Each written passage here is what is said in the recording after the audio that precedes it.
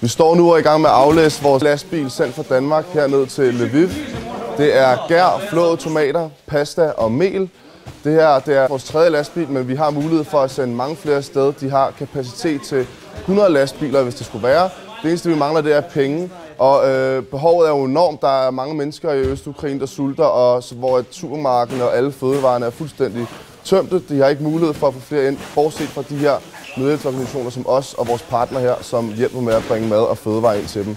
Det er livsnødvendigt for dem, at de får den her hjælp, så doner endelig til os på 137 337 for at gøre det muligt for os at hjælpe så mange mennesker som muligt. Tak for det.